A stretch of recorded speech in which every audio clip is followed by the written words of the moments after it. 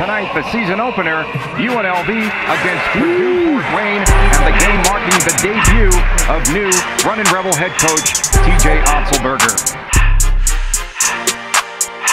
Everything litty, Elijah Mead True Long, Amauri Hardy, Jonah Antonio, and Donnie Tillman alongside the center. Bounce pass back door, the Howard dunk!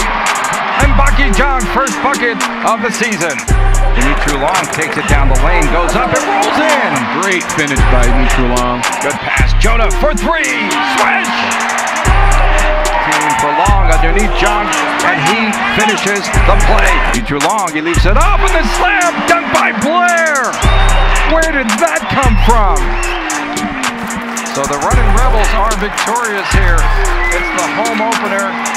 UNLV now 1-0. Purdue Fort Wayne, the Mastodons put up a good fight.